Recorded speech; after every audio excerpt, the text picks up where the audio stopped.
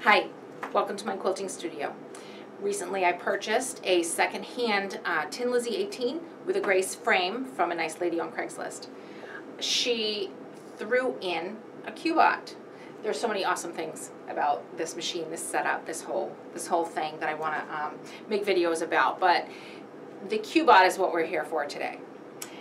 It took mm, a couple hours to set it up and I'm not a big computerized quilter. I've never used this software before.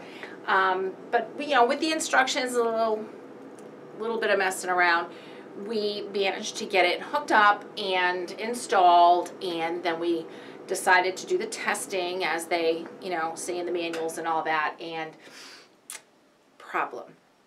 Uh, so if you found this video, chances are you're having problems with your Q-Bot and chances are also pretty good that you're a second-hander, that the thing came with the machine and you don't know anything about it yet. Um, once this thing works and you get it rolling, you're gonna get pretty masterful at it pretty quickly. Um, when mine wasn't working, I was standing here just, I, I just felt so stupid, like, it, it's it's you know is it set up right? Is it the you know? And if you're feeling that same way, you're not stupid. You don't do this every day. A lot of us artistic people aren't super techie people, and, and this is a whole new world for us.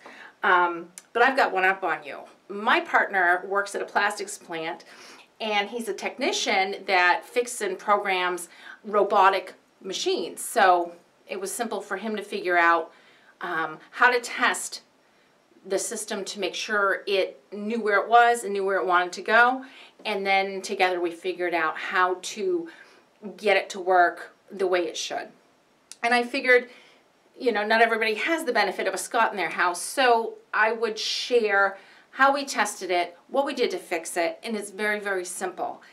I don't care if you've never turned the thing on before. I don't, I don't care if you don't know anything about a computer. Anybody can do the testing procedure and the simple fix that we came up with.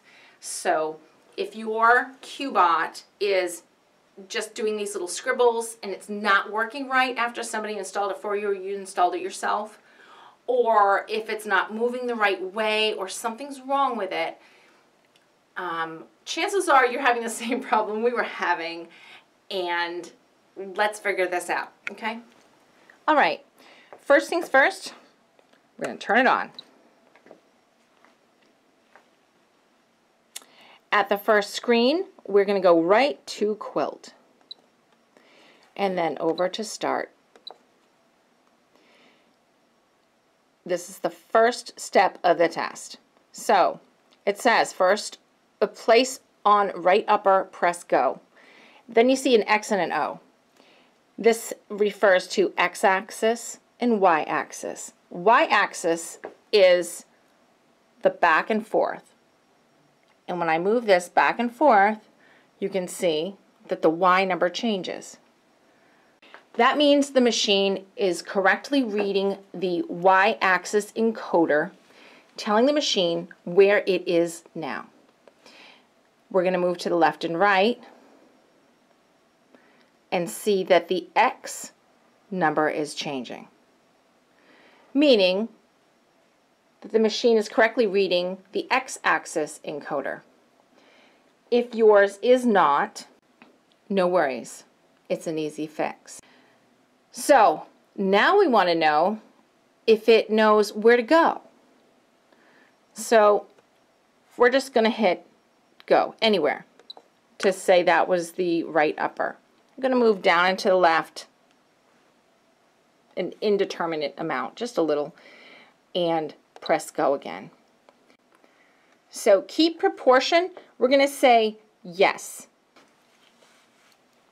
So it doesn't matter if you say yes or no, it does the scaling thing and then stops. So the next thing we do is press go. Then it will move to where it would begin stitching a design should that be what you actually wanted. This is the screen we want to go to to test if the machine knows where to go. And by pressing the down arrow, the machine should come towards you. Up arrow, away. left and right, it's obvious. So try each of these and determine whether the machine is moving in the direction that you would imagine it should move. And if not, no problem. We know how to fix this. So test all four buttons, see if it's moving in the way that you want it to. And if it doesn't, let's go to how to fix this. We want to exit quilting. Yes.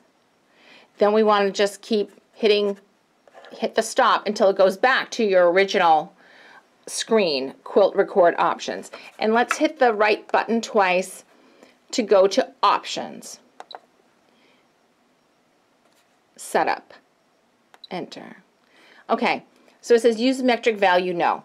That's the standard answer. And just know that this question is the first in a list of maybe 12. And if you hit the down arrow, here's the next question x-axis direction. The current value is negative 1. In the manual, they state that for this machine and this frame, the x-axis direction should be 1. So I had changed it to 1 and then hit go. Um, however, that was our problem. The x-axis and y-axis has two different things you can choose, negative one or one. If your machine is moving opposite of the way you expect it to move, go to the x-axis direction if it's left and right issue and change it. If it's negative one now, change it to one. If it's one now, change it to negative one. No matter what it says in the manual. It's not going to break it. It is just going to correct the programming in this system. Also, if you press the down arrow once, it asks you, you know, y-axis direction, and the value is 1. Similarly, if your problem is with the forward and backward movement of the machine, change this to negative 1 from 1 or the opposite. Change it from 1 to negative 1. You're just telling it to think on the other side of the line. Any changes you make have to be followed up with the go button.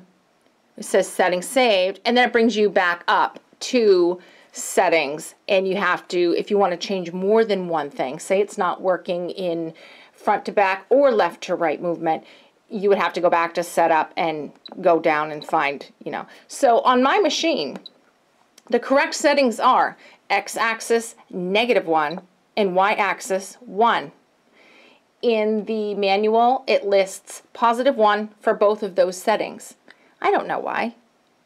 But thankfully, we were able to fix this and now it sews fine. I hope that helped.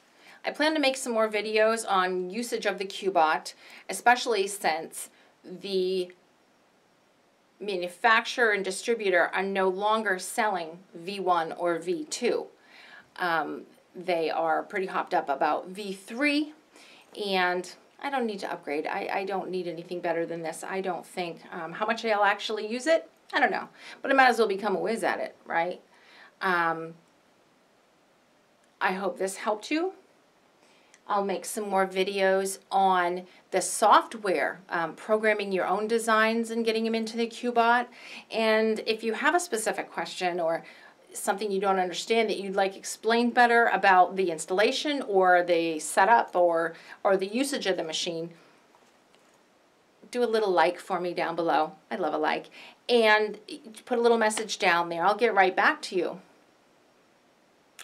Have a super day. Happy quilting.